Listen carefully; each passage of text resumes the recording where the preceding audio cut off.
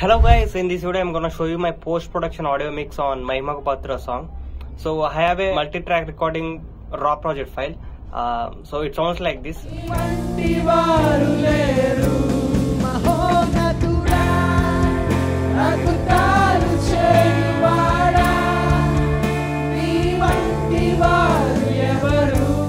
It's just a raw sound. So now here is my final uh, mix on it. So let's listen to it.